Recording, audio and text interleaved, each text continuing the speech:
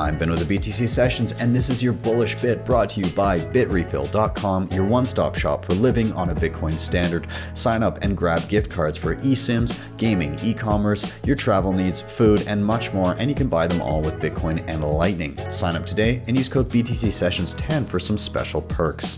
The reason why I am comes in around, you know, I guess what has turned into my livelihood, which is educating people how to use Bitcoin and how to secure their Bitcoin and become self sovereign and use all the awesome tools that are being built by all the incredible people out there. And I've had a great time doing that over the, the past number of years. And the types of people that I get to educate has shifted and grown over the years. And most recently, I was very lucky to be the recipient of a grant from the Human Rights Foundation. And so, with that came a chance to work with human rights activists from around the globe um, for various reasons that often are living under tyrannical governments and want the ability to just speak up and have their voices heard and protest, but often can't and find themselves on the receiving end of, you know, eh, their bank accounts being shut down and being basically removed from the financial system so they can't even fund any sort of protest or you know, oftentimes even being thrown in prison. And the financial aspect of that is one that they have to navigate. And people are beginning to piece together that Bitcoin can be a piece of the puzzle in solving some of those problems.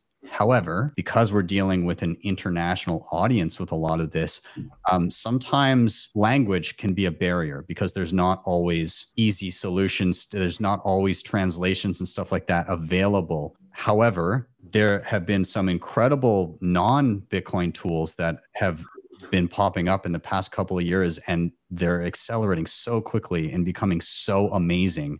Just recently, AI has gotten to a point where I can plunk in a video and have it come out the other end in five or 10 minutes, maybe 20 minutes. And I've got a full tutorial. And it's not just translated and dubbed, but it's they CGI my lips to make me look like I'm like I know Spanish or Hindi or Mandarin or whatever it may be. With the grant from the HRF, I've begun work on a series that's going to go through a lot of the things that these NGOs and that these that these human rights activists need to know to properly use and secure Bitcoin in the situations that they have.